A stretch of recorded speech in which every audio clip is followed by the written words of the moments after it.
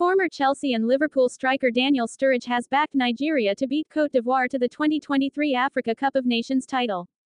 Nigeria will go up against AFCON hosts Cote d'Ivoire in the final of the competition at the Alassane Ouattara Stadium in Abidjan in a few hours. Already, former Chelsea manager Jose Mourinho and ex-Manchester United captain Rio Ferdinand have shown their support to Nigeria to overcome the Ivorians. Sturridge has also towed the same path, confirming his choice in a video that has gone viral on social media. The former England international admits that Cote d'Ivoire will offer stiff resistance to Nigeria. Still, he expects William Truce Troost-Ekong, Ademola Lookman, and Victor Osimhen to inspire the Super Eagles to victory.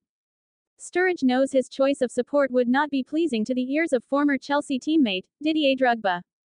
Drogba and Sturridge were together at Chelsea when the Blues won their maiden UEFA Champions League honor in 2012.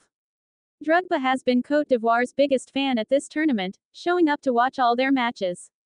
And Sturridge has sent his apologies to the former Africa Footballer of the Year for backing Nigeria to secure a fourth continental trophy. While Cote d'Ivoire have lost two games at the AFCON, Nigeria are the only unbeaten team in the competition, with one draw and five wins.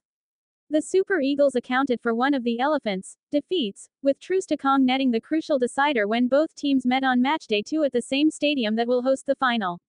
Please subscribe to our channel for more.